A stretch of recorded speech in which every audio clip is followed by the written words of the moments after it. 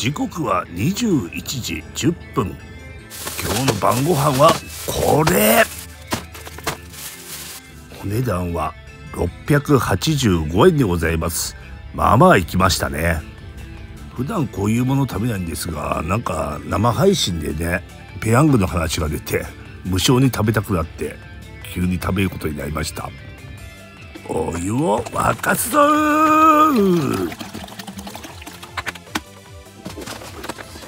かねえなほんと久しぶりのせいかなかなか開かない。ライターで開けてやりました。こっからビリビリビリビリビリビリビリッと。蓋をめくってまずは中身の火薬ふりかけ火薬を中にぶっ込みすじゃらじゃらじゃらじゃらお湯をぶち込む。を閉めて待つこと3分。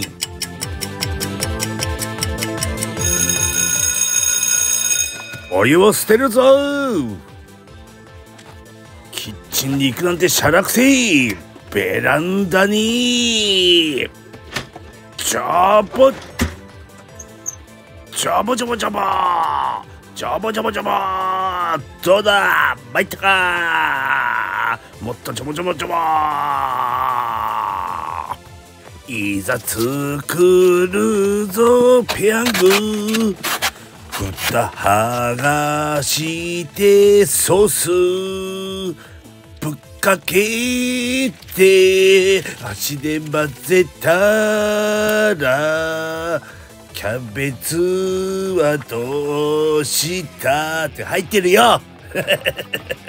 キャベツはもう入ってるよ。はいそれでふりかけをかけて。完成だ。どうだ？行くぞ。マスクが邪魔だ。うまい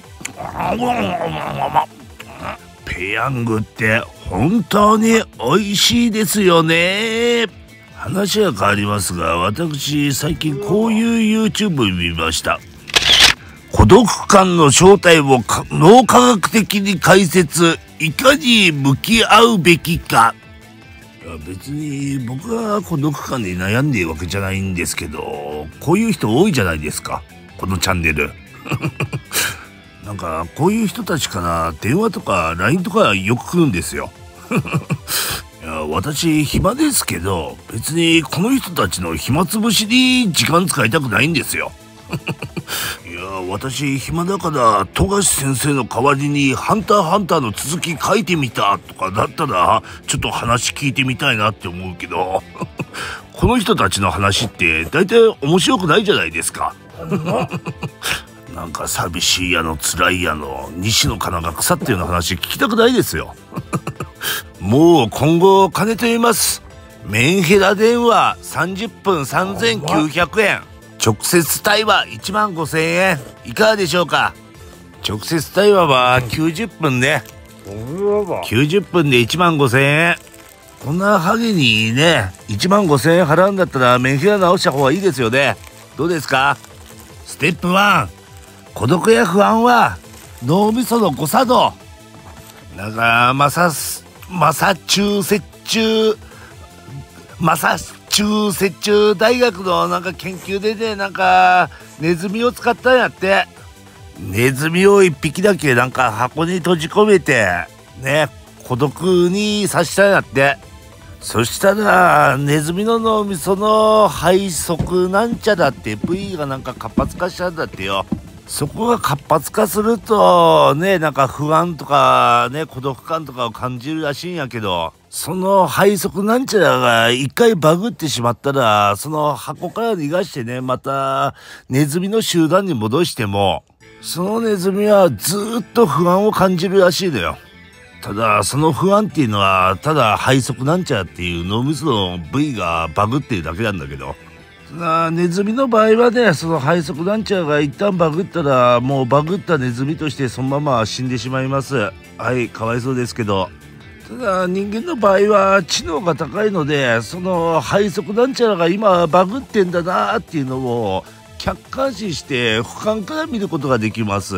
いやあんたらもねなんか知らんけどお腹が痛い。なんか知らんけどおまんまんから血が出るってなったら怖いやろうけど生理って分かったら怖くもなんともないでしょうが。ちなみに生理だと何ですか？ホルモンバランスが崩れてイライラする方もいるらしいですね。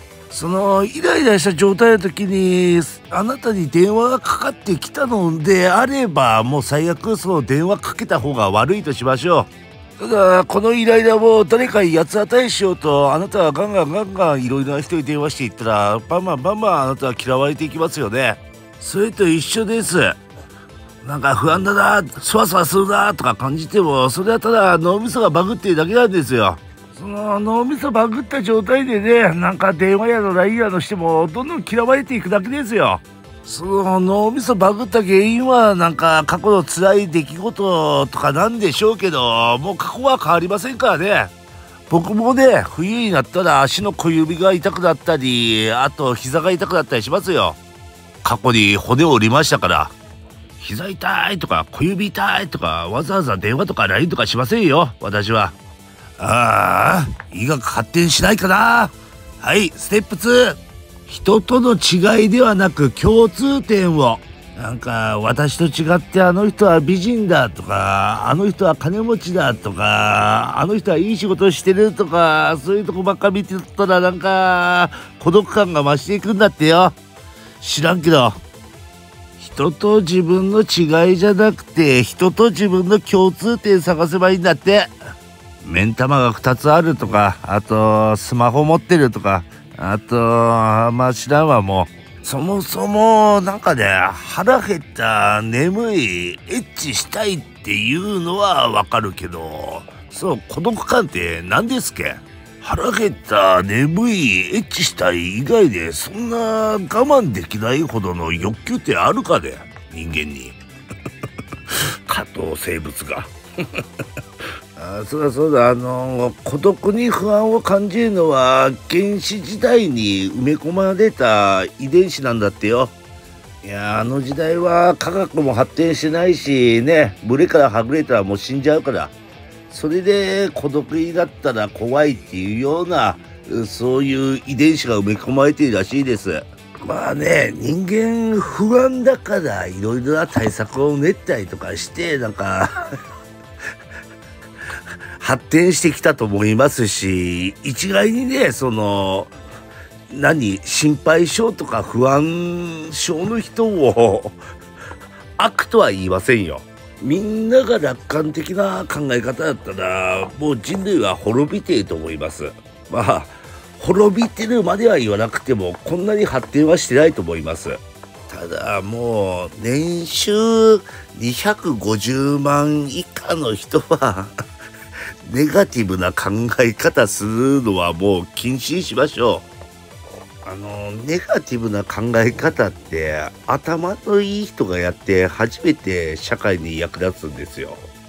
例えばね、毎年豊作の村があったとしてね、バカな村人が 来年不作だったらどうしようどうしようって言っても周りの村人のその労働に対するモチベーションが落ちるだけで 何の役にも立たないんですよ。でも、頭のいい人がネガティブな場合は、こうやったら保存食が作れるとか、来年ネガティブな状況になった時の対策が打てるんですよ。の今の日本社会で年収250万以下の人があの、この先社会がああなるかもしれない、こうなるかもしれないと、で、いろいろな不安考えたところで、別に対策打てる能力ない人間だと思うんですよ。まあ、これは僕も含めてですよ。そもそもあなたたち頭悪いから年収250万以下なんですよ。バカなのに不安だからブラック企業とかにいいように使われるんですよ。で少ない給料で行きたくもない飲み会とか行くでしょ不安だから。頭のいい人は不安を感じるのはいいんですけどバカが不安を感じるとこんな風にどんどんどんどん金と時間を奪われていくんですよ 不安を感じるがゆえに脳みそがフリーズしてどんどんどんどん自らドツボにはまっていくんですよ ただネガティブっていう OS とポジティブっていう OS だったらネガティブっていう OS の方が優秀ですよ。まあ自分が優秀な人間だと思うならネガティブをインストールすればいいと思いますけど年収250万以下の人って優秀じゃない可能性の方が高いですよ。あ僕もちなみにネガティブユーザーでしたけど もうアンインストールしました。使いこなせねえので。あーあと寝る前にね一日あった楽しかったことを思い出すように習慣するといいんだってよ。なんか知らんけど。おっと言っている間にもうぼちぼち食べ終わるんじゃないですかね。どうでしょうか。おキャベツをかき込むかき込むかき込むかき込む。はいはいはいはいはいはいはい。おっと食べ終わりました。あれ？まだか食べ終わり食べ終わりました。それでは2個目って食えるか？20代の時はペヤング3個は食べてましたけど年を取りましたね。それではまたンネルのサブチャンネルの登録もお願いします。よろしくな